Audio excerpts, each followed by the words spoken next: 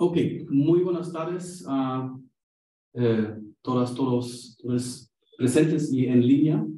Eh, eh, muchas gracias por venir, por asistir y también muchas gracias a, a Romila por su disponibilidad de hablar sobre su, investigación, sus líneas de investigación, interés en el tema de la, de la bioantología y temas actuales.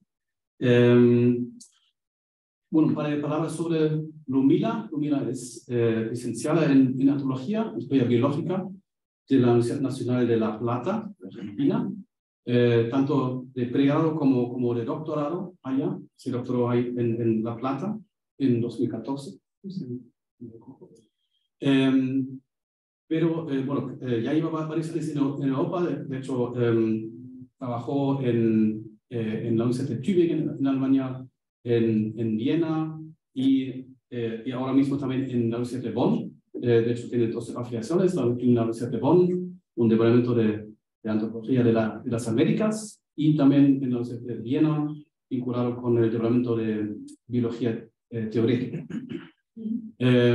bueno, interés en grandes rasgos de, de Lumina es en, el poblamiento de América, acercándose mediante la morfología, la morfometría, y me imagino que hoy llevar esto y también quizás para agregar, está acá también en Chile para eh, bueno, conocer a nosotros, presentar su trabajo y también está aprovechando, tomando algunas scans eh, con su, eh, con su equipamiento de algunos cráneos aquí de nuestra colección del Departamento de Antropología. Bueno, sin más palabras por parte mía, te dejo la palabra a ti. Bueno, muchas gracias Cornelius por la invitación, gracias a, todos por venir a escucharme. Eh, ¿Se escucha bien? Tengo un poco mal la garganta, y no es COVID, me solté, que no es COVID, pero bueno, así que estoy un poco forzando la voz, pero espero que, me puedan escuchar todos, cualquier cosa me avisan y trato de hablar más Se escucha bien, se escucha bien. Gracias. Bueno, el título de mi charla es Historia evolutiva de los humanos en las Américas conexiones entre perspectivas históricas y actuales en base de datos biológicos. Voy a contar un poco una historia que muchos seguramente conocen. Eh, la idea es aportar algunos datos o conexiones nuevas, tal vez, como para también situar el tipo de trabajo que, que yo estoy haciendo. Por este paso. Ahí va. Bueno, entre las principales preguntas que ha habido, digamos, a lo largo de los, estos casi 200 años, en los cuales eh, nos venimos preguntando acerca de la diversificación temprana de los humanos en las Américas, se pueden agrupar eh, en estas tres como por ahí las principales, ¿no? aunque existen obviamente muchas más. ¿Cuándo llegaron los primeros humanos al continente? ¿Llegaron hace mucho tiempo? ¿Llegaron de forma más reciente? ¿Quiénes eran? ¿Provienen de Asia, del este de Asia, del sudeste de Asia? Hubo también modelos planteando que venían, podrían haber venido de África, de Europa, de Oceanía. ¿Y cómo es que se expandieron? ¿Cuáles son los mecanismos evolutivos que actuaron durante dicha diversificación? Estas son algunas de las preguntas que, bueno, a mí me interesa más eh, aportar para, para responder. Obviamente no voy a ahora abordar en esta presentación todas de ellas, pero bueno, estoy también abierta a, responder preguntas también al final de, la charla acerca de las mismas. Bueno, ¿por qué una perspectiva histórica? Yo creo que, eh, a mi modo de ver, es muy importante eh, situar eh, la historia de cómo entendemos el poblamiento americano desde una perspectiva histórica. ¿no? Bueno, por un lado porque en los últimos años creo que ha habido una, una emergencia de muchos modelos, eh, pareciera que cada nuevo trabajo que se publica plantea un modelo nuevo, y bueno, según mi punto de vista esto no, no es necesariamente así, eh, yo tengo una visión más crítica, creo que hay, se pueden hilar, digamos, todos estos modelos, y, y eso es lo que voy a intentar un poco también hacer en esta charla, ¿no? establecer esas conexiones entre, para entender de dónde vienen los modelos que estamos discutiendo y debatiendo actualmente. Eh, bueno, con, justamente está relacionado esto último con tratar de establecer una trayectoria de ideas para entender justamente una red, cómo se van conectando eh, esos modelos, ¿sí? cómo surgieron, de dónde vienen y cómo se fueron modificando, evolucionando.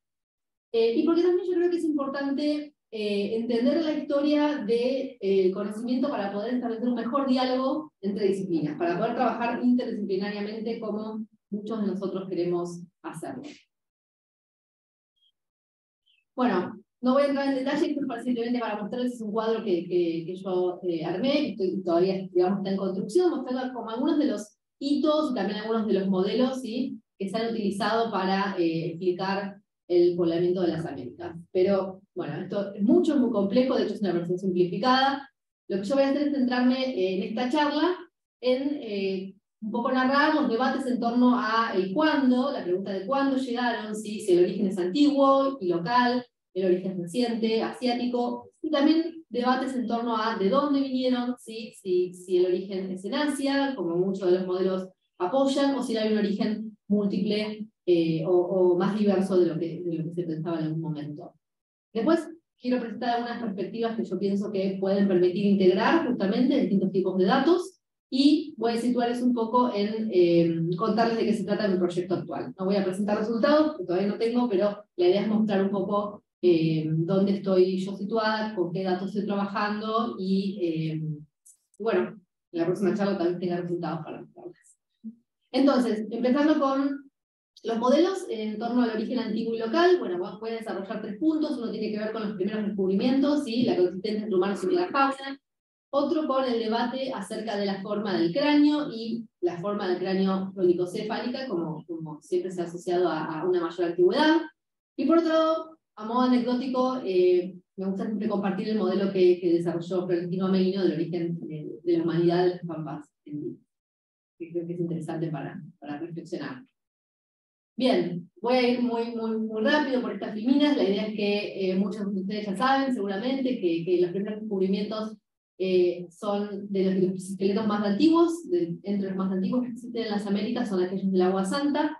Eh, es interesante que eh, son de los esqueletos más antiguos que se han encontrado ¿sí? en la década de 1830, los cuales fueron adjudicados a, en ese momento a humanos antiguos. ¿sí? Esto es antes que los neandertales, antes como erectus, ¿sí? es, el primer reconocimiento que se hace de esqueletos fósiles que se los considera que son similares ¿no? a, los humanos actuales, pero a su vez también antiguos porque justamente estaban asociados con megafauna. Eh, después también tenemos otros ejemplos, como este, el caso de Fontezuelas, donde se encuentra un esqueleto ¿sí? por dentro de una caparazón de gliptodonte, y en ese momento Florentino Ameguino, que fue quien, quien escribió este hallazgo, lo asocia a un tipo de práctica mortuoria antigua. ¿no?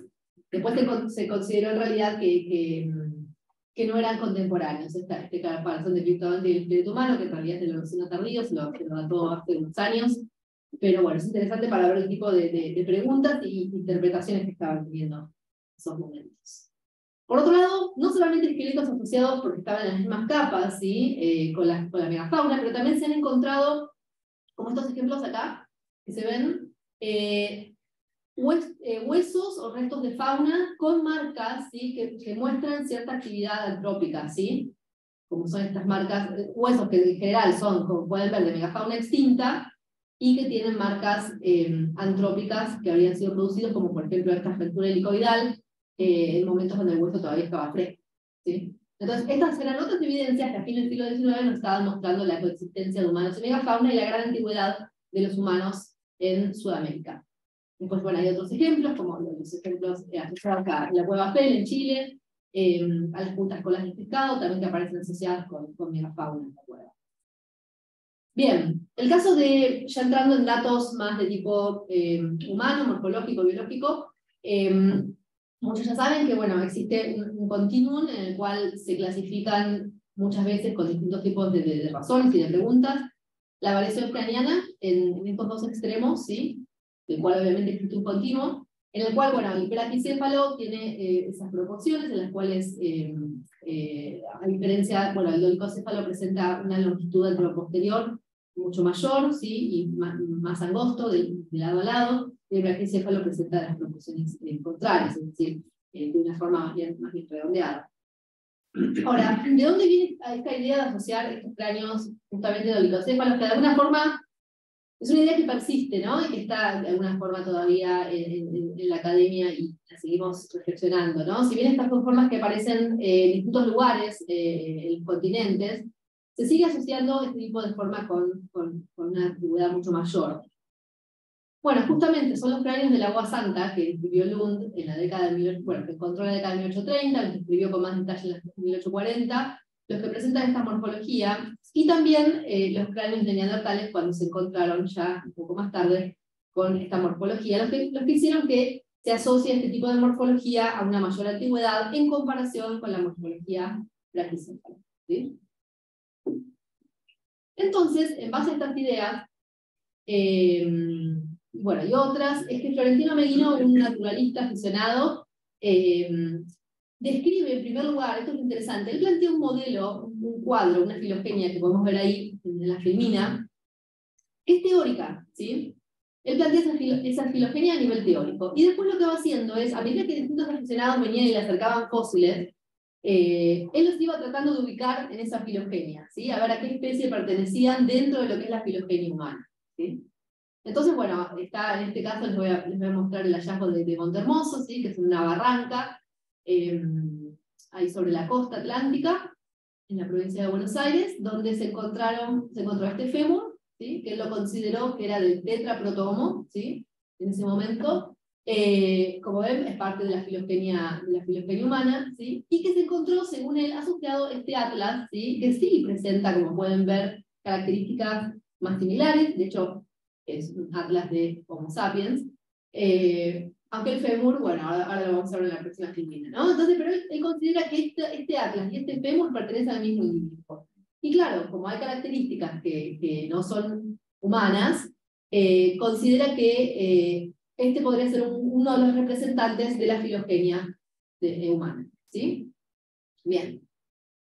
Bueno, estas ideas tuvieron mucho, mucho eco en distintos lugares del mundo. ¿sí? Eh, tanto investigadores que estaban a favor como otros que estaban en contra. ¿sí? Para aquellos, por ejemplo, que eran poligenistas, ¿sí? como Schwalbe, Sergi, eh, estas ideas fueron importantes porque de alguna forma le, daban sustento a esta idea de que el hombre se había originado más de un lugar en el mundo. ¿no? Para otros, eh, para otros como Jarlica en, Norteamérica, eh, no, digamos, todos estos fósiles eran, en realidad pertenecían a, humanos, humanos bien modernos, bien recientes, o había confusiones que tenían que ver con cuestiones económicas o, o de otro tipo. Ahora vamos a ver más detalles. Ahora, ¿qué pensamos de la filogenia de Ameguino hoy, brevemente? Bueno, muchos de los... ahí va. Muchos de los, de los que se encontraban en las posiciones más basales, ¿sí? en realidad eh, eran, platirrinos, ¿sí? eran primates, eh, en muchos casos eh, encontrados en la Patagonia, Argentina, pero eran, eran platirrinos. El tetraprotomo, que les mostraba recién, con ese fémur que no era humano claramente, y el, atlas, eh, bueno, el fémur resultó ser de, un carnívoro, ¿sí? Y, el atlas resultó ser de un humano. Respecto al diprotomo, otra especie que él, que que planteó, bueno, también era, un Homo sapiens, eh, y había, hay especies que, digamos, nunca se asignaron a ningún, a ningún espécimen, nunca se encontraron. Y algo que es interesante es que muchos de los, muchos de los esqueletos que él describía como antiguos fueron fechados recientemente, bueno, hace 10 años, ya no tan reciente, pero en los últimos años, digamos, con técnicas que hoy en día consideramos eh, válidas, y son de los esqueletos más tempranos que tenemos en el continente. Entonces es interesante ver que había algo que, que Ameguino estaba viendo, digamos, de alguna forma. Había muchos errores, claramente, como que el hombre se origina aquí, digamos, un montón de errores. Pero había algo que él estaba describiendo en estas morfologías, ¿sí? que eh, no estaba tan errado, ¿no? Eh, esos son los esqueletos que tenemos más antiguos en la región pampeana. Son alrededor de 9.000 años. 9.000, 8.000. ¿sí? Hay uno, el de Arroyo de Frías, que es incluso 10.000 años antes del Entonces, eh, había algo interesante que él estaba describiendo que, y que hoy en día seguimos, digamos, con, con, con esa, manteniendo esas ideas. Bien, respecto al origen eh, residente asiático, bueno, voy a presentar tres puntos. Uno que tiene que ver con el rechazo que hace Jarlica, ¿sí? hacia origen local, de, de Ameguino otro el modelo Clovis, ¿sí? y otro los primeros modelos interdisciplinarios y el impacto que tienen eh, hoy en día. Bueno, Harlika hace, con él se establecen de alguna forma esas visitas eh, para, para controlar, para chequear, para revisar los sitios arqueológicos, después se mantienen en el siglo XX, se mantiene porque también, por ejemplo, en el caso de Monteverde, eh, vienen arqueólogos de Norteamérica a ver este sitio eh, realmente eh, la temprano, que escribía Tom lo mismo para hacer la capibara, con los sitios de Niridón. Pero bueno, se establecen más o menos en este momento. Cuando Harlica lo hizo fue todos esos sitios, todos esos reportes que se hacían en sitios tempranos, ¿sí? él, eh, ya sea que, bueno, ya sea que le mandaban los huesos para que los revisara, o él iba y visitaba también los sitios para, para ver si realmente constatar si realmente eran tempranos o no. Pero en la mayoría, yo diría que en todos los casos, eh, él considera que, que, no, que todos los, todos los restos esqueléticos, esqueletos humanos eran recientes, que las, había alteraciones tafonómicas, ¿sí? Él describía que la, la morfología de olicocéfala, a diferencia de, de, la mayoría de sus contemporáneos, eh, él decía que también estaban en grupos presentes, entonces que eso no era un rasgo que podría considerarse primitivo, ¿sí? Bueno, después critica la, la, el tipo de métodos que se aplicaban, eh, y no es menor que Harlica era el curador de las colecciones de Smithsonian, una persona con mucho poder, ¿sí? una posición privilegiada, y sus ideas eh, tenían un impacto muy importante para la disciplina. ¿no? Entonces él escribió un libro que es eh, Early Man in North America y el otro Early Man in South America, y donde básicamente expuso una crítica detallada a todos estos casos de sitios que aparecían como tempranos,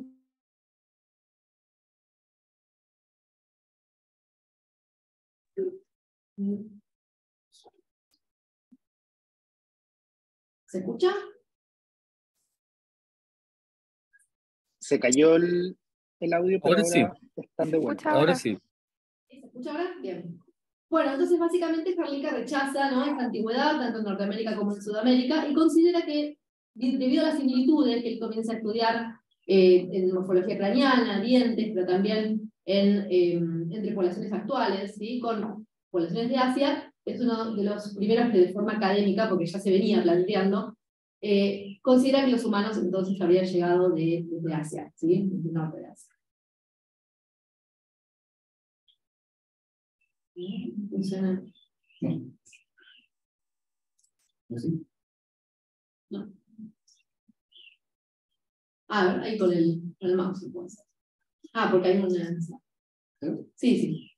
Perfecto. Bueno, eh, más o menos en la década del 20, ¿sí? empiezan a aparecer eh, sitios arqueológicos que, eh, donde se presentan, como son estos casos que son paradigmáticos, el de Folsom y el de Clovis, ¿sí?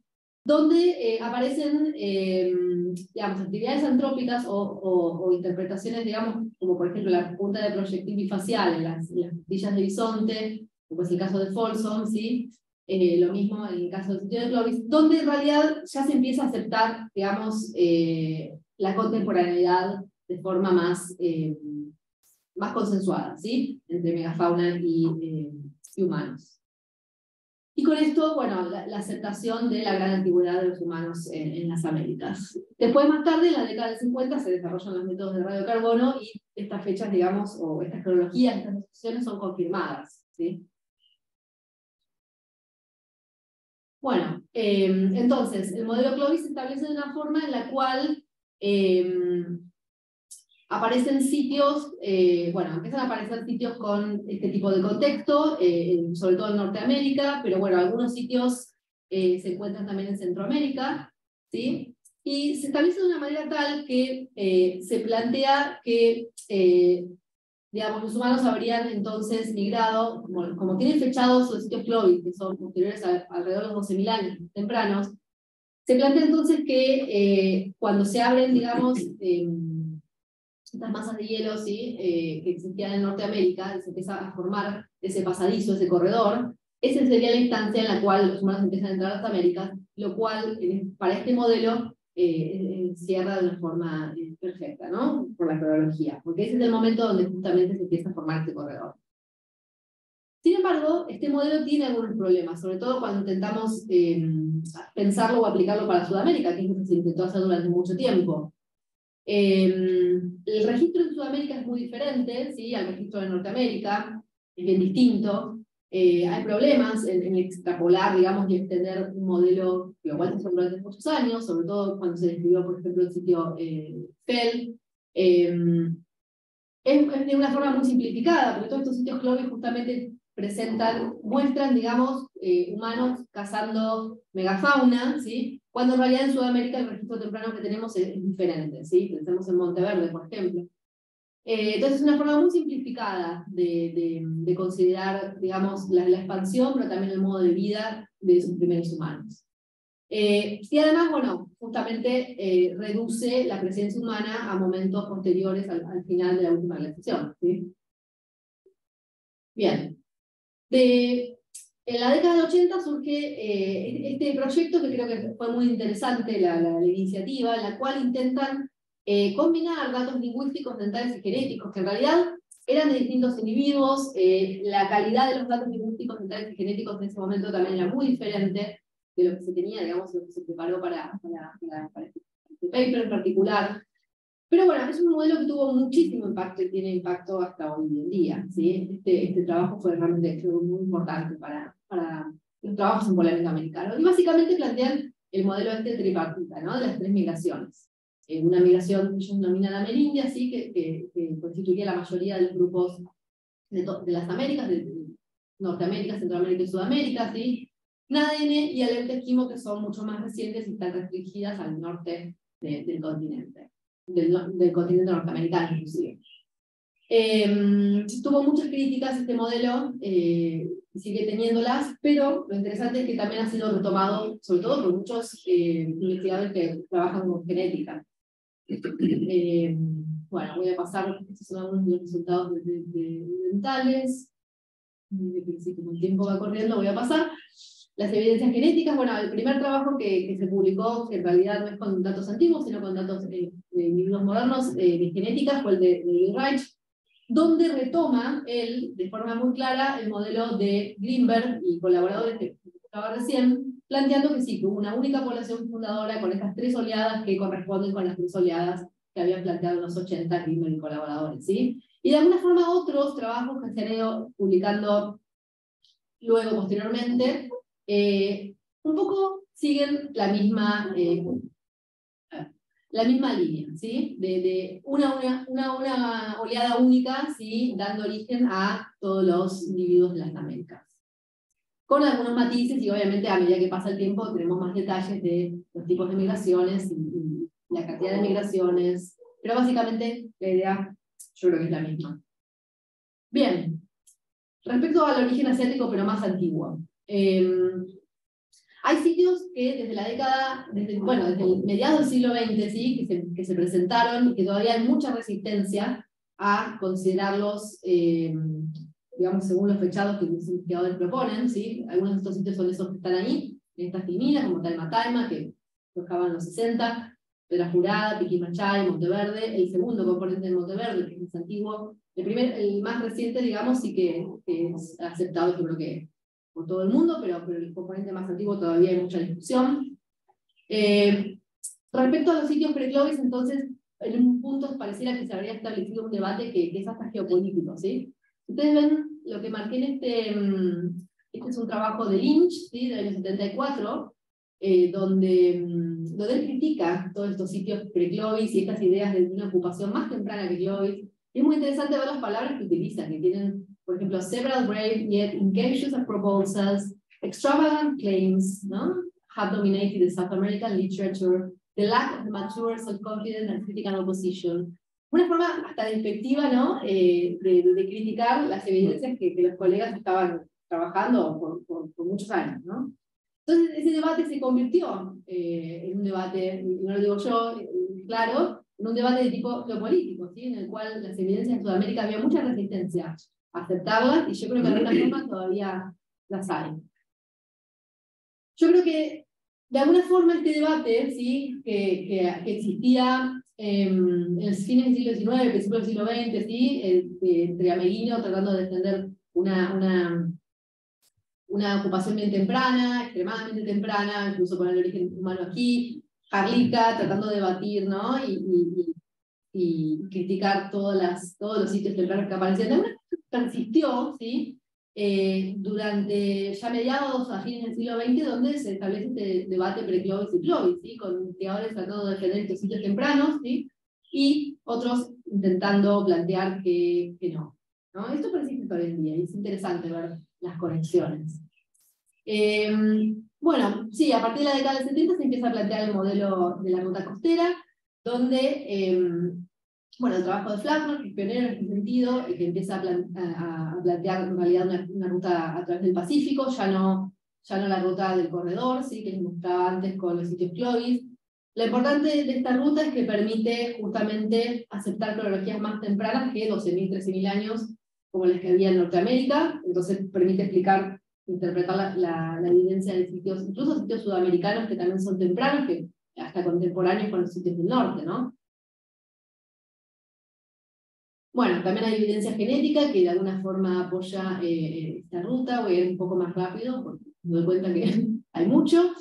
Eh, y esto llevó eh, a que se plantee el modelo de incubación en Beringia, que es un modelo que hoy en día está, está vigente, ¿sí? donde en realidad lo que se plantea es una migración o varias migraciones desde Asia, ¿sí? un, un periodo muy largo de estadía en, en Beringia, ¿sí? a partir del cual distintas poblaciones habrían divergido, eh, incluso en distintas oleadas, hacia el sur, empezando por Norteamérica y después yendo al sur del, continente. Este modelo bueno, fue planteado eh, al principio eh, con, evidencia genética y hoy en día hay información también arqueológica que lo, apoya. es un modelo realmente, bueno, morfológica, dental también, es un modelo importante. Bueno, esta es alguna evidencia. Entonces, hoy en día, eh, lo que se está discutiendo ya, obviamente, superamos la discusión Clovis-Preclovis, por suerte, y ahora estamos discutiendo en realidad si la ocupación humana en las Américas es previa o posterior al último máximo glacial. ¿sí? Y aparecen estos sitios, eh, que generan también mucha discusión, mucho debate, como bueno, ese sitio Cerruti Mastodon en, en, Estados Unidos, que tiene 130.000 años antes del presente, ¿sí? donde aparecen huesos eh, de megafauna con supuestas marcas de corte y esa antigüedad. Eso nos lleva a, ya a repensar si, bueno, llegó en ese momento que se publicó el trabajo a pensar si, bueno, si fueron Homo sapiens o es otra especie la que había estado llegando al continente, en ese momento se estableció ese debate. Después, otros sitios ya con cronologías, bueno, no tan tempranas como esa, como, como el sitio de México, eh, Chiquihuitecayo, eh, y como el sitio de White Sands, que también es reciente la publicación, donde ya se plantean las cronologías entre, como pueden ver, 26.000 a 19, 23 a 21.000 años, ¿sí? siguen siendo tempranas, porque siguen siendo pocas las evidencias que tenemos para este, para este periodo. Eh, y bueno, el debate sigue, pero, pero es interesante que se vayan encontrando cada vez eh, evidencias un poco más tempranas. ¿no? Bien, eh, ahora vamos a hablar un poco de los múltiples orígenes, porque si bien el origen asiático ¿sí? de la mayoría de las poblaciones en las Américas está aceptado. Aparecen algunas otras variantes o algunas otras eh, evidencias que nos permiten pensar que es mucho más complejo el panorama. Entonces me voy a remontar, eh, porque como saben me gusta la historia, eh, me voy a remontar a Paul Rivet, ¿sí? que fue uno de, los, uno de los primeros, pero bueno, estas ideas vienen ya, ya también desde antes, desde, fin del siglo XIX, que plantea que en realidad Sí, muchos de los humanos en las Américas llegaron desde Asia, pero no solo desde Asia, sino que también hay evidencia arqueológica, etnográfica y lingüística que muestra que habrían llegado desde lo que hoy se denomina Australasia o, o Oceanía en general. Estas ideas también fueron desarrolladas por eh, Antonio Méndez Correa, que es un, antropólogo portugués, que él incluso planteaba una migración a través de la Antártida, ¿sí? desde Oceanía, pasando por la Antártida y llegando por el sur de Sudamérica migrando hacia el norte. Bueno, mucho más recientemente, a fines de la década del 80, sobre todo durante los 90, em, dos antropólogos sudamericanos, Walter Neves, brasileño, y Víctor Cucharelli, argentino, plantearon este modelo ¿sí? de las dos oleadas, que de alguna forma yo creo que está conectado con estas ideas que otros venían desarrollando acerca de la existencia de ciertas conexiones ¿sí? de Sudamérica con, con Oceanía. Ellos plantean este modelo donde ven, describen en base a, morfometría craneana, ven que eh, los individuos más, eh, más tempranos de las Américas presentan asociaciones, ¿sí? similitudes con individuos de, Polinesia, de Oceanía en general, y mientras que los amerindios sí presentan más similitudes con los individuos del de, noreste de Asia. Entonces, en base a eso plantean el modelo de los componentes donde había habido una primera migración más antigua, ¿sí? de la cual eh, em, linajes del sudeste de Asia habían llegado, migrado, pasado por Beringia y, poblado el continente americano, ¿sí? y una mucho más reciente, a partir del cual eh, linajes poblaciones humanas del noreste de Asia, ¿sí? habrían eh, migrado al, continente americano. Ese modelo, de alguna forma, persiste hasta hoy. Hay muchos trabajos eh, genéticos que, sobre todo, que lo que hacen es partir de testear este modelo para, como hipótesis nula, ¿sí? Eh, pero bueno, eso les voy a mostrar más adelante. Estos son trabajos morfológicos eh, de Mark Uwe y de, de Norim que muestran también estos patrones de diferenciaciones entre, humanos de Sudamérica más antiguos y más recientes. ¿sí? Em, y trabajos genéticos que muestran, primero el trabajo eh, de Skoglund con poblaciones, eh, poblaciones contemporáneas, más recientemente este trabajo de Araujo Castro y Silva, también con poblaciones contemporáneas, donde muestran que hay determinadas poblaciones, sobre todo en el caso del trabajo de Skoglund de la Amazonia, ¿sí? del sur de la Amazonia, la región del Mato Grosso, que presentan, digamos, eh, similitudes, estamos hablando de, datos genéticos, ¿sí? de poblaciones actuales, con poblaciones también de oceánicos. ¿sí? Este trabajo más reciente del año pasado de Araujo Castro muestra lo mismo, pero no solo encuentra, quedó muy chiquita la imagen, no solo en esas mismas poblaciones, caripianas, que son las que, describió Skoglund, sino que encuentra esa misma señal ¿sí? en otras poblaciones del el norte eh, de Perú. ¿sí? Pero, porque claro, digamos, hasta, hasta el filmín anterior podríamos decir, hay un trabajo también reciente donde se muestra migraciones eh, a través del Pacífico, desde Oceanía, eh, hace más o menos mil años, dos mil años antes del presente. Entonces podríamos pensar que esas similitudes entre las poblaciones de Amazonia y Oceanía podrían ser algo reciente pero también tenemos similitudes de algunos individuos antiguos, así como este caso de Moreno Mayar, eh, un individuo de, del Agua Santa, en Brasil, tiene un flechado de 10.000 años, y también presenta esas similitudes genéticas con individuos de Oceanía. Hace unas semanas se publicó este trabajo. Eh, hasta ahora este individuo del Agua Santa era el único antiguo que presentaba estas similitudes. Entonces, muchos investigadores incluso, incluso pensaban que podría haber sido un error metodológico. Incluso el trabajo de Cosmo Post, ellos plantean eso, que como no pudieron replicarlo, esto podría ser un error metodológico, esta asociación. Pero hace una semana aparece este trabajo. Y mm, en este trabajo se plantea, bueno, se plantean muchas cosas, eh, pero también plantean que un individuo de Panamá que tiene una antigüedad de 2000 años, más o menos, eh, presenta también esta similitud de forma también eh, con un porcentaje similar, que creo que es el 3%, eh, con individuos de Oceanía. ¿sí? Además, en este trabajo, bueno, lo que describen ellos es que estos individuos que presentan estas similitudes con Oceanía también presentan un componente más alto de una señal de disobana. Eh, respecto a los otros. Así que bueno, el debate, como pueden ver, sigue, no se terminó, está lejos de terminarse creo que hay mucho por hacer, eh, pero bueno, que haya aparecido otro individuo ya creo que nos está diciendo que hay que repensar las cosas eh, y que no necesariamente podría ser otro error metodológico. Bueno, ahora les voy a contar un poco lo que, lo que hice yo y lo que estoy haciendo ahora. Em, ya hace unos años eh, hicimos un trabajo con, con, un grupo de colegas en el cual, bueno, son dos trabajos, porque uno hicimos comparando muestras de eh, Argentina, norte de Chile, Brasil y Colombia. La idea es que comparamos muestras del Holoceno eh, temprano y del Holoceno tardío y calculamos un, estadístico que es el delta de Lynch, que, está aquí, donde en base a la variación interpoblacional ¿sí? de muestras tempranas, muestras tardías ¿sí? y al tiempo que separa unas de otras, lo que hicimos fue poner a prueba eh, si los factores, digamos, que son de tipo aleatorio, ¿sí? son suficientes para explicar la variación a lo largo del tiempo, o si tenemos que recurrir a otros factores de tipo no aleatorio para poder entender la evolución de las poblaciones humanas. Y bueno, las, los resultados mostraron que sobre todo las muestras de... La idea es que si, si el valor de delta de Lynch cae dentro de este rango, ¿sí? la variación aleatoria es suficiente para entender esa, esa evolución a lo largo del tiempo. ¿sí? Ahora, si el valor del delta de Lynch cae por encima o por debajo, entonces no, hay que recurrir a otros factores, ¿sí? como puede ser aquellos relacionados con, o sea, no solamente con la deriva, sino con la selección, o eh, la necesidad fenotípica.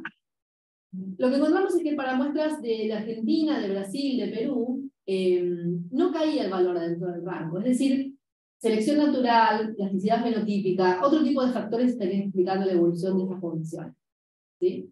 Pero para el caso de Chile y el caso de Colombia, pareciera como que habría habido, al menos con estos individuos que estábamos comparando, o en estas regiones, cierta, cierto aislamiento, aislamiento geográfico tal vez, por el cual la deriva podría explicar de forma completa la, evolución de esas poblaciones. Para hacer esto, bueno, utilizamos una base de datos, claro, el estudio tiene sus limitaciones, una base de datos que es, eh, bueno, muy completa, que es la base de datos del doctor Cucharelli, pero que son medidas de tipo lineal, describiendo determinados componentes funcionales, que es su método de trabajo.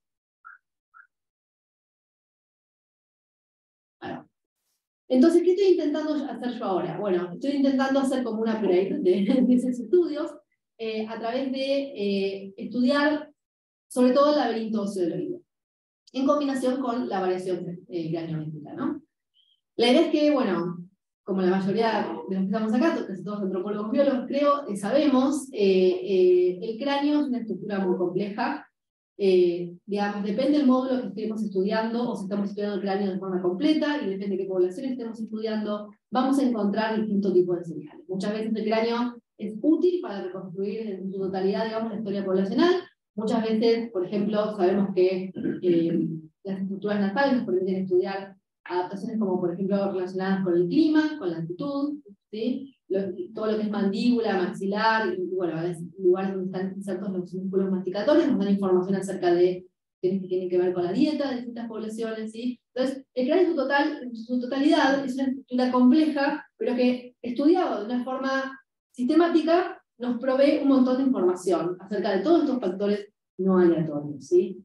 Por otro lado, el laberinto del oído esto, eh, nos proporciona, y hoy en día se considera que es una de las estructuras esqueletales que tienen mayor, eh, eh, mayor señal filogenética, en el sentido de que su variación presenta eh, una variación, una correlación muy fuerte ¿sí? con los datos de tipo genético.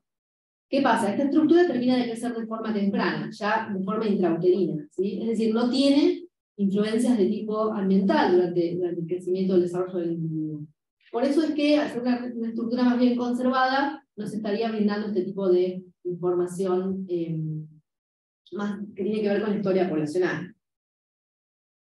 Entonces, bueno, yo quiero estudiar muestras de, de varios lugares, como pueden ver, de, de, Sudamérica, sobre todo muestras tempranas, para entender cuán diversos eran esos primeros individuos que llegaron a las Américas, ¿sí? pero también estoy interesada en estudiar secuencias necrónicas en determinados lugares donde, bueno, donde las muestras nos lo permiten, porque las muestras muchas veces son escuetas, para tratar de entender, un poco replicar esos estudios que hice con eh, las medidas craniométricas lineales, para tratar de estudiar la variación a lo largo del tiempo y entender justamente la influencia de todos estos procesos en la diversificación de las poblaciones de Sudamérica.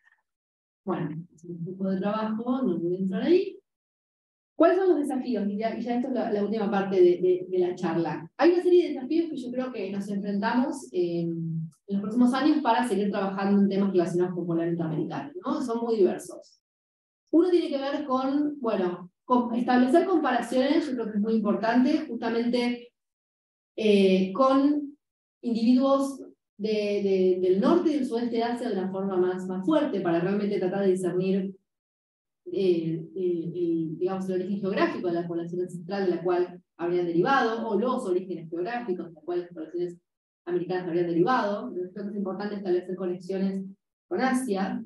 Eh, por otro lado, necesitamos más fechados eh, radiocarbónicos directos, ¿sí? cuando estudiamos esqueletos humanos es muy importante. Este es un, trabajo de, de, de reciente donde hacen eh, una comparación de, de, los fechados no solamente en esqueletos humanos, sino de todos los fechados del Mioceno temprano. En otro trabajo nosotros hicimos, eh, hicimos un análisis de, a dónde de dónde provienen, ¿no? para ver si había algún tipo de sesgo relacionado, que lo hay, con el tipo de ambiente, de dónde proviene, la mayoría de los, de los fechados radiocarbónicos. También tiene que ver con la historia de las investigaciones, ¿no? por ejemplo Perú, hay lugares que fueron investigados de forma más, más más intensa ¿no? que otros, como, Amazonia, donde la conservación también es, pobre. Y por otro lado, bueno, establecer una agenda disciplinaria, combinar datos, eh, en este caso estoy dando datos biológicos más que nada, pero la idea es extenderlo a otras disciplinas. Por ejemplo, los datos genéticos que nos, que nos hablan los antiguos de una variación muy baja, ¿sí? cuando se comparan individuos de, distintos extremos del continente, pero, pero, los datos antiguos morfológicos nos dicen todo lo contrario, que la variación es muy alta. ¿sí? Entonces, ¿a qué responde? La idea es tratar de discernir a qué responde este desacople, ¿no? Em, y bueno, algunas de las, de explicaciones pueden ser las distintas tasas de cambio que este tipo de datos, el impacto de distintos factores, ¿sí? trayectorias de herencia diferentes, pero creo que es importante poner, poner combinarlos, ponerlos en conjunto y discutirlo para tener un mejor entendimiento. Bueno, otro desafío tiene que ver con eso, con tratar de, de, de, integrar, cuando integramos datos biológicos, ¿no?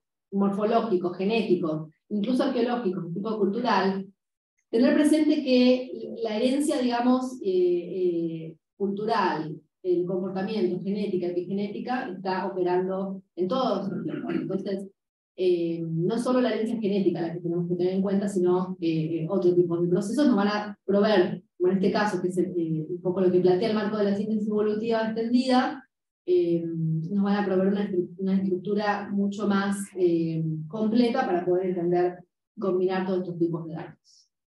Bueno, otro desafío tiene que ver con establecer colaboraciones de tipo balanceadas. Eh, hace poco estuve en la lab, estuvo discutiendo mucho el tipo de colaboraciones que existen hoy en día entre, colegas del Norteamérica, bueno, del norte global, lo que se dice hoy en día con el, sur global. Entonces es un desafío para la próxima década también, de cómo, cómo trabajamos, cómo colaboramos. Eh, integrar también el diálogo con las comunidades, eh, como antropólogos es algo que que, tenemos que tener en cuenta, ¿sí? no solamente por las distintas narrativas ¿sí? de las comunidades, tratar de integrar, eh, esto también estuvimos discutiendo en la lab, como muchas veces hay, hay, narrativas de, la ciencia que, que, causan mucho daño a las comunidades y que, tener cuidado en cómo se plantean las cosas, por ejemplo, vas a hablar de discontinuidades, es algo que podemos debatir, eh, una agenda común, creo que si estamos estudiando la historia del pasado, eh, tenemos que también entender eh, la agenda de las comunidades indígenas, cómo podemos nosotros generar conocimiento que les sea útil. y bueno, esto está relacionado también con la justicia social. Y bueno, acá voy a dejar, pero estoy abierta a, a preguntas, también me pueden escribir a mi correo o a computer. Muchas gracias. Muchísimas gracias. Eh, gracias, eh, por su charla. Eh, de hecho, me gustó mucho como el, el, espectro de, de, información y también llegando a esta actualidad de, nuestra, de los, nuestros enfoques eh, de, la investigación. De hecho, como el tema de, incluir como a, a, em, las poblaciones primarias, digamos, eh, aquí Chile es súper importante también. Se habla mucho de. Eh, pero bueno, quiero dejar, eh, abrir el foro eh, para preguntas o, o comentarios. Ya, Moira tiene una pregunta. sí, gracias por la charla, fue muy buena. Em, me preguntaba como por qué elegiste a esas poblaciones en particular, o sea, solo por la variabilidad morfológica que mencionaste o por otros factores y también, eh, según entendí, vas a trabajar solo con datos genéticos, también No, morfológicos, de hecho. Ah, sí, sí. Porque eso, eh, ¿cómo, ¿cómo lo vas a hacer con el tema de que son análisis destructivos? Bueno, bueno, gracias, gracias por tu pregunta. Eh, voy a empezar por la segunda, entonces. Eh, bueno, mi trabajo es, más, es morfológico en realidad. Yo voy a, voy a hacer, eh, estoy haciendo tomografías eh, que no son destructivas, si uno las hace digamos, con los parámetros eh, que no, no, destruyen el ADN. Eh, así que estoy usando, a ver, lo bueno que yo creo que tiene este método es que es una forma, digamos, no destructiva de analizar, de poder estudiar la, la historia poblacional, ¿sí? lo cual permite incluir más muestras, porque los datos genéticos al ser destructivos permiten, digamos, incluir tantas muestras, entonces se pierde un poco, por ejemplo, la variación intrapoblacional, que no puede ser estudiada de la misma forma.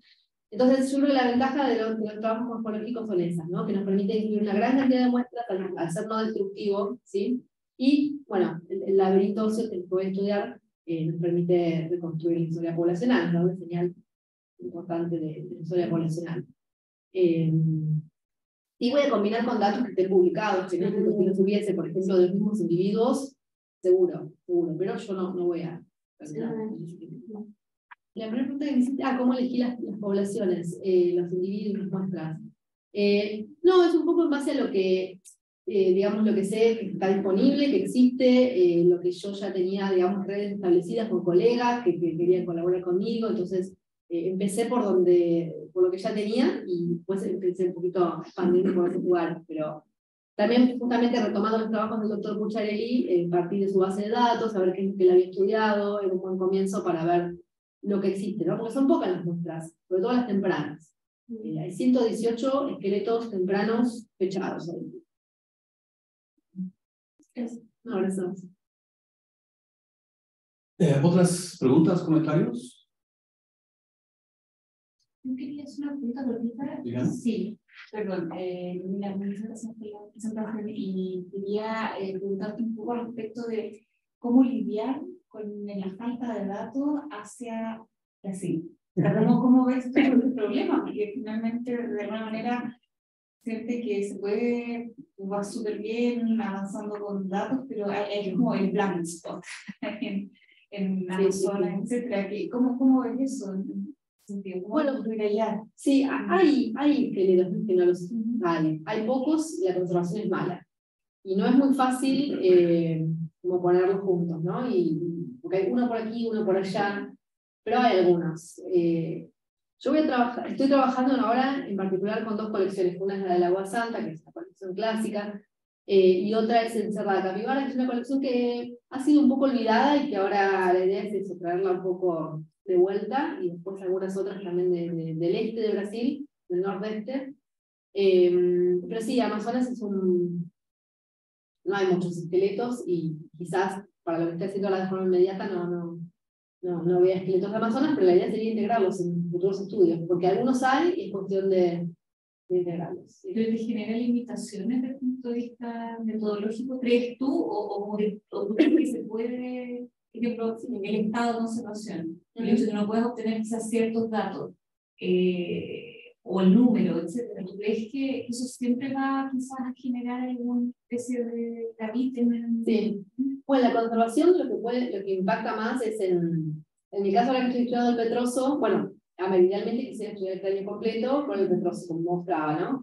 Pero muchas veces, eh, cuando la conservación es mala, bueno, el petroso se conserva dentro de todo, al ser bastante denso, que se encuentra. Eh, pero mm, la conservación, digamos, cuando es mala, lo que no permite es hacer fechados. Entonces, eh, es muy difícil a veces, sobre todo en estudios, digamos, que apuntan a ver la evolución, si uno no tiene fechados, ¿dónde ubicarse esa muestra? ¿no? Eh, entonces, bueno, quizás se puede hacer un tipo espacial, pero no, no, no a nivel de, de trayectoria evolutiva. Entonces, Sí, claro, que hay limitaciones con las muestras, pero, pero bueno, yo también creo que hay que hacer lo mejor que uno puede con, lo, que está, con lo que está disponible. Gracias. ¿Otras preguntas, comentarios? Eh, Germán Enríquez, por favor. Hola, ¿qué tal? Muchas gracias, Lumila, por tu interesante conferencia. Eh, me llamó mucho la atención lo del esqueleto esto dentro del gliptodón, y me puse a buscar y es muy, bueno, muy, disculpa que lo diga así, pero en general ahora es muy divertido leer a Mequino, pero en su época el tipo estaba convencido y realmente hizo un esfuerzo enorme.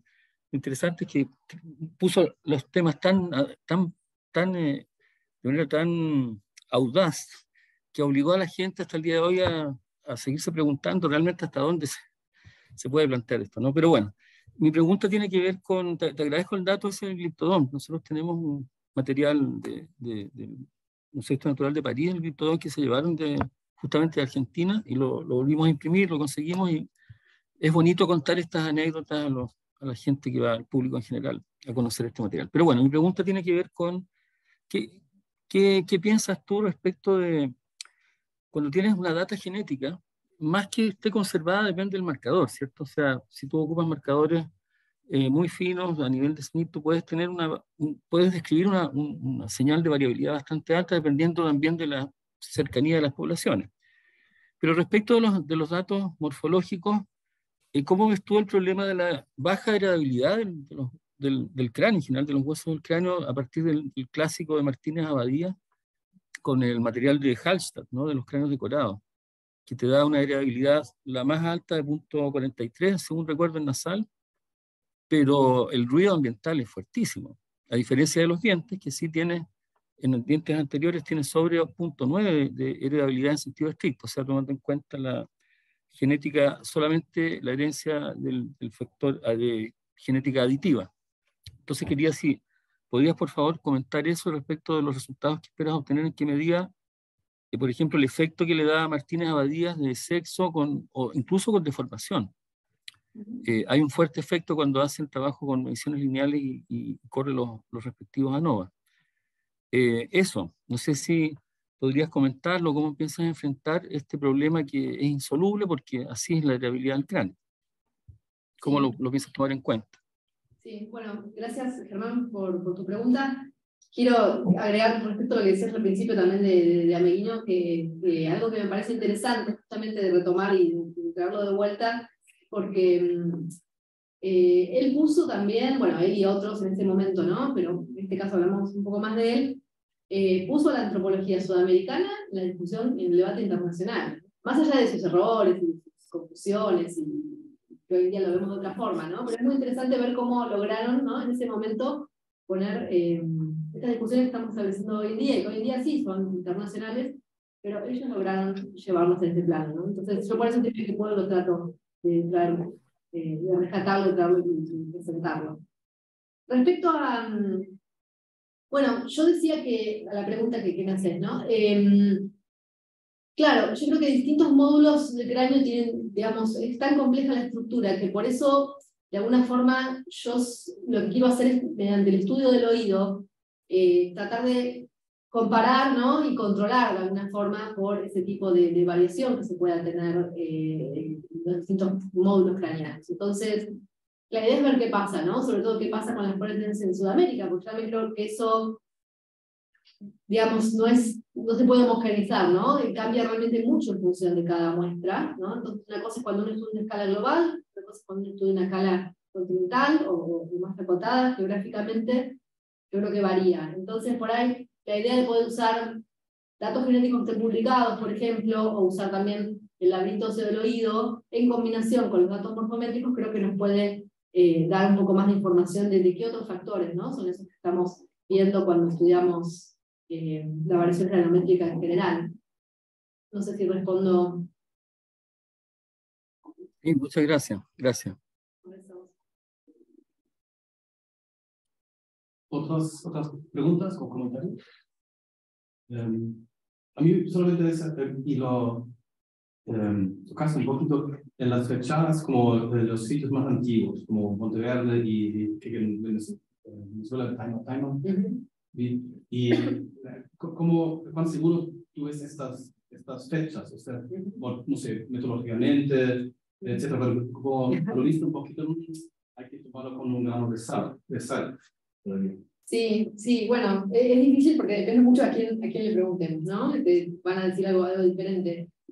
Yo, al no ser especialista tampoco en radiocarbono, lo único que puedo decir es que, que, hay que seguir fechando y hay que seguir trabajando. ¿no? Pero, pero no me parece, yo sé que hay gente que tiene una postura más extrema de que hay que descartarlos estos sitios, ¿no? hay que dejarlos de lado, que traen más ruido, escuchado, que, se dice. Yo creo que no, que no necesariamente, que, que no tenemos que descartarlos, que hay que seguir trabajando. Eh, hay sitios que fueron excavados hace mucho tiempo y todavía están en tela de juicio, en duda, ¿no? pero, pero me parece que todavía hay trabajo por hacer eh, que puede tener que ver con más excavaciones, con, con refinar, echar de nuevo, con métodos más modernos. Pero no, yo no creo que haya que descartarlos. Creo que, que siempre estamos de alguna forma encontrando algo un poco más antiguo, y siempre que aparece algo más antiguo, nunca es aceptado, siempre de hecho es rechazado, con, con mucha cautela tomado en cuenta. Entonces, por eso me parece que todavía no, no, no habría que descartar. ¿no? Siempre nos estamos sorprendiendo con una fecha más, más, más antigua, que parece de forma novedosa. Entonces creo que hay que, hay que tenerlos en cuenta. Sí. Ok, no sé si hay más, pero... Ah, tengo una, una consultita, sí. Lo que pasa es que sigo interesado con el tema del laberinto melódico. Creo que es una técnica súper novedosa. No la conocía, ¿ya? Entonces me gustaría que nos explicaras un poquito más como qué es lo que tú esperarías encontrar. No, no, no sé tan específico lo morfológico, pero sí también como si de alguna manera, claro, estás buscando variación entre poblaciones o respecto a los diferentes linajes, eh, cuál es el punto de corte, por así decirlo, para poder establecer esa, esa, esa diferencia, no sé, como desde el punto de vista más morfológico, o sea, o más metodológico, me interesaría por lo menos una, una así breve síntesis, pensar, claro, como bien tú dices, que claro, vas, puedes combinar con otros, con otros eh, elementos como genética, por, por, el resto de la morfología craniana, pero en, en específico, en el, laberinto del, del, oído, ¿qué, ¿qué es lo que tú esperas obtener? Sí, sí. Bueno, tengo muchas preguntas en realidad con el laberinto, así que hay muchas cosas que espero obtener, eh, con suerte. Bueno, yo tengo morfometría geométrica, ¿no? Entonces en este momento estamos definiendo un protocolo. Eh, sí, no me explayé mucho durante la charla porque era, había muchas cosas. Estamos definiendo un protocolo porque no es fácil tampoco trabajar con, bueno, tomografías médicas, microtomografías, ¿no? Las resoluciones diferentes. Estamos definiendo un protocolo, pero la idea sería tratar de describirlo en forma, tamaño, lo más, lo más mejor posible. Eh, ¿Y qué espero encontrar? Bueno, una de mis preguntas tiene que ver con, como decía en un rato, cuán diversa, cuán heterogénea, digamos, en esa primera, eh, esas primeras o esa primera camada de, de, individuos que llegaron, ¿no? Claro, los esqueletos que tenemos son los más antiguos, 10.000 años, no son los primeros que llegaron, porque tenemos evidencias, ¿no? Del 14 al menos. Eh, entonces ya sabemos que son muchas generaciones más, más, más recientes, digamos, son descendientes de los primeros individuos. Pero yo creo que estudiando la variación de ellos, por ejemplo, en comparación con la variación craniométrica, variación genética, uno puede, digamos, me, quisiera pensar que el laberinto del oído va a presentar algo intermedio, tal vez, eh, entre la variación genética y la variación pulcráneo, ¿no? Como la variación craneal mucho más, no mucho más eh, variable, no, no variable, pero más, eh, más diversa, más heterogénea, y la variación de, de, genética que siempre muestra una variación más, más acotada. También espero que ciertas regiones, eh, por ejemplo, la Agua Santa, eh, siempre se ha descrito como, como una población, bueno, porque hay, hay 30 individuos, entonces a veces se describe como una, como una población, que son contemporáneos, más bien homogénea. No son muy diversos, ¿no? Los trabajos de Walter Neves, Mark han descrito eh, de hecho, con esos trabajos ellos consideraban que los primeros humanos eran bien, bien homogéneos, eh, porque han estudiado más de cerca los individuos de la agua santa y estaban ese tipo de datos. Ahora Mark, cuando estudia los individuos de México hace unos años, los individuos tempranos de México, de Quintana Roo, ve que, ve que no, que individuos de México, de la región geográfica acotada, son muy diferentes entre sí, ¿no? comparados con otros individuos de la Américas. Entonces, eh, yo me inclino a pensar que había una heterogeneidad, que quizás tenga que ver justamente con la combinación de distintos linajes del norte y del sur de Asia. ¿no? Eh, había algo que estaba ahí, digamos, se estaba incorporando cierta complejidad, yo creo, en torno a, a, a variación de, de, la población ancestral. Eh, y esperaría que el laberinto nos muestre, digamos, por ser más, más una estructura más conservada, una, una posición intermedia entre lo que es la variación craniométrica y la genética. ¿no? Eh, pero bueno, vamos a ver, no se ha hecho eso todavía, así que no se han hecho trabajos tampoco con los mismos individuos comparando genética y oído medio ni, con los datos planimétricos. Entonces creo que son muy. Perfecto, gracias. Bien, que, que ya llegamos a una hora. Eh, bueno, muchísimas gracias nuevamente a ti, eh, y en la, la interlocución. Eh, también pues, les, agradezco que estés acá y en línea eh, por su asistencia y contribución a la, a la discusión. Y les deseo una muy buena tarde y ojalá hasta, hasta muy pronto. ¿ya? Gracias. Gracias. Chao, Chao, buenas Chao, Felipe, gusto en verte. Chao.